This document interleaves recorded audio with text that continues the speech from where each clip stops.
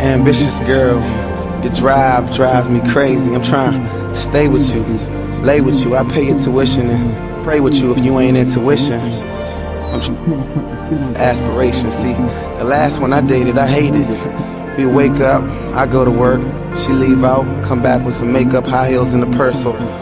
Worse, I ask a baby girl, what you aspire to be? And she replied to me like, why you perspiring me?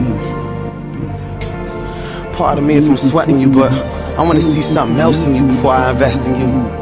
Ambitious girl, what it's hitting for? I'd rather you tell me to hit you later cause you gotta finish your paper than to be in my face asking for a rose cup. Can't cut in your business.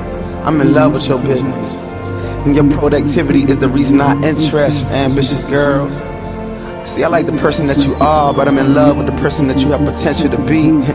and all your dreams sharing with me, and your secrets bearing with me, and the flaws you don't even gotta mention to me. Ambitious girl, you just wanna win, and you rather chase your dreams than to try to chase these men that try to chase these skirts that try to chase these shots with flavors that ain't even as sweet as her. My ambitious girl, I won't forget you.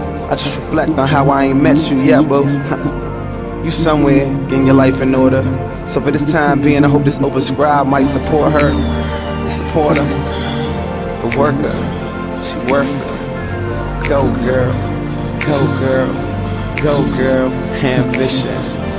Go girl. Go girl. Go girl. Go girl, go girl, go girl, ambition.